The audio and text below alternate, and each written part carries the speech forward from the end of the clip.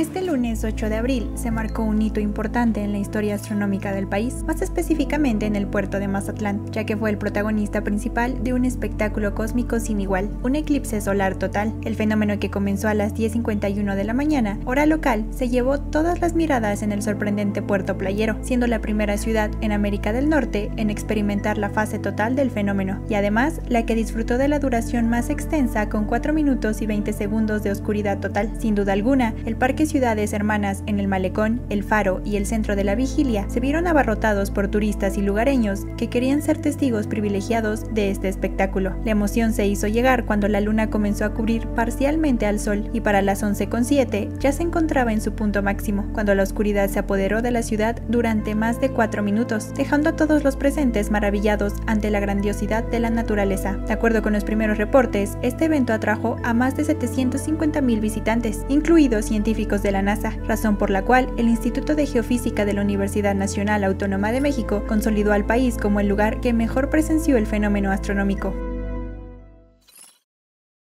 Aléjate de las fake news y mantente informado. Suscríbete a nuestro canal.